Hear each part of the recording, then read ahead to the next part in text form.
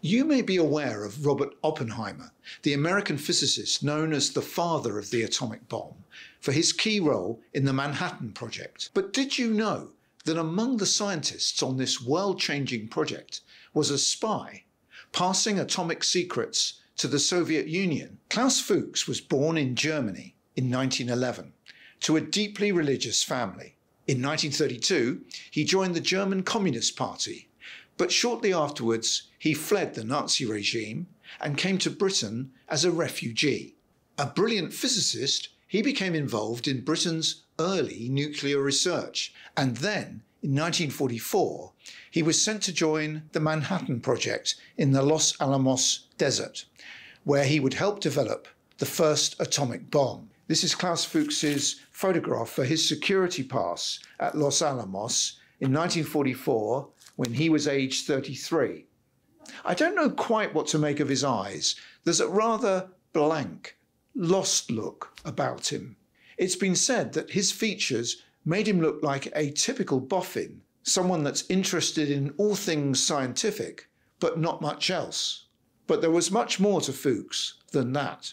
His fellow scientists trusted him, they respected him, and he even babysat for one scientist and his wife. But all the time, he was passing vital atomic secrets to the Soviet Union. When the Soviets tested their own atomic bomb in 1949, it came as a great shock to the West.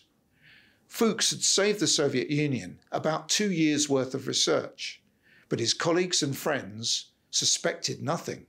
In the autumn of 1949, Fuchs became a person of interest to the security service MI5, Fuchs was put under surveillance and interviewed several times by skillful MI5 officer Jim Skardon. Again and again, Fuchs denied passing secrets, but he eventually cracked and confessed. In his statement, he discusses compartmentalizing his life and his feelings.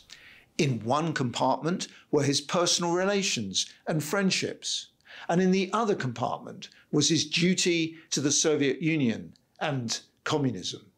And this gives an interesting insight into the psychology of spying.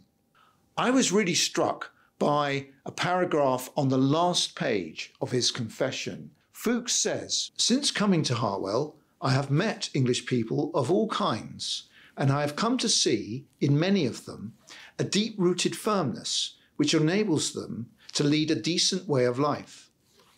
I do not know where this springs from, and I don't think they do.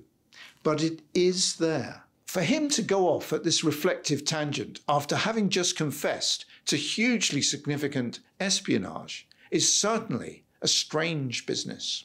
To me, it confirms that Fuchs did not seem to realize the import of what he had confessed to. He had relieved himself of a terrible burden, and it would all be cleared up now.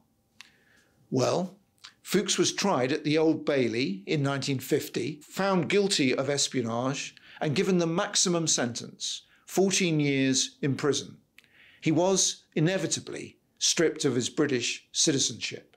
He received parole due to good behaviour and was released in 1959. He immediately flew to East Germany, where he was to spend the rest of his days. It is incredible to think of the first atomic bomb test in the desert south of Los Alamos on the 16th of July 1945, which Fuchs observed with his fellow scientists wearing welder's goggles. It is mind boggling to reflect how Fuchs might have felt witnessing this truly awesome spectacle to which he had made a significant contribution, a game changing new weapon the details of which he had shared with a foreign power.